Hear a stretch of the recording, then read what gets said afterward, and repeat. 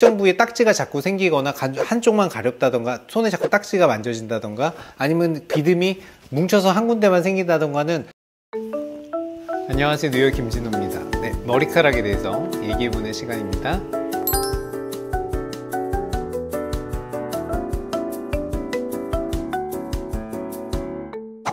겨울하고 봄에 건조하신 거는 겨울은 특히 건조해서가 맞을 거예요. 겨울에 많이 오시거든요. 그러니까 우리가 피부 건조하면 하얗게 일어나는 게 머리에 일어난다고 생각하시면 돼요. 머리에도 사실 좀 더 그런 보습 제품들이 있어요. 토닉을 쓴다던가 크림을 쓴다던가 하는 제품들이 있고 그래서 그런 걸 써주시면 좀 도움이 될 거고요. 근데 이제 염증이 있어서 우리 여드름 근처에도 잘 보시면 딱지 같은 게 생기면서 터지고 하면 각질이 생기거든요. 근데 그 두피염이 심한 분들은 또 비듬이 많아요. 그래서 어, 이게 내가 지금 겨울에 두피염이 심해져서 그런 거다. 단순히 이제 하얗게 되는 게 아니라 정말 여드름 같은 게 많이 생겨서 모낭염 같은 게 많이 생겨서 그러는 거는 치료를 하셔야죠. 치료를 하셔야 되고 봄에는 이제 환절기 스트레스 때문에 몸이 그것 때문에 또 이제 그 두피가 한번 뒤집어져서 오는 분들도 꽤 많습니다. 그래서 환절기 스트레스냐 아니면 건조함 때문인지는 한번 봐야 될 것 같고요.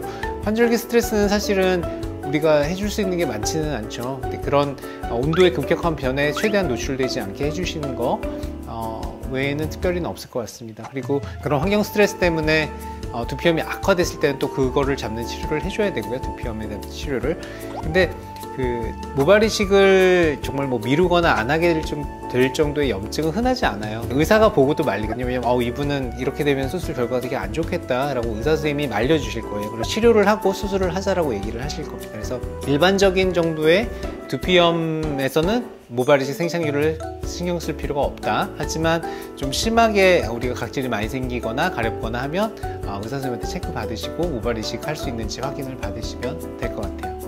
어, 보통은 이제 지루성 두피염 같은 것들이 국소적으로 있는데 그걸 머릿속에 있으니까 못 느끼시는 경우가 많아요. 특정 부위에 딱지가 자꾸 생기거나 가- 한쪽만 가렵다던가 손에 자꾸 딱지가 만져진다던가 아니면 비듬이 뭉쳐서 한 군데만 생긴다던가는 분명히 이게 두피염이 동반될 확률이 되게 높습니다. 그래서 어, 물론 뭐 두피 지루성 두피염은 어, 완치의 개념이 아니라 계속 조절해주는 개념이에요. 우리가 어, 컨디션이 안 좋을 때 발발하고 컨디션이 좋으면 또 사라지고 반복하거든요. 심해진 분들한테 제가 항상 공통적으로 물어보는 분이 있어요. 요새 좀 힘든 일 있으세요? 라고 제가 물어봅니다. 그러면 대부분 뭐 이유가 있어요. 잠을 못 잤어요. 뭐 술을 많이 먹었어요. 어, 뭐 스트레스를 많이 받았어요. 이유가 대부분 있습니다. 그래서 그런 두피염이 악화되지 않게 우리 몸 컨디션을 좋게 유지하는 것도 필요하겠죠. 좋은 거 많이 드시고 술, 담배 적게 하시고 두피염을 줄여주는데 도움이 되는 생활 습관입니다.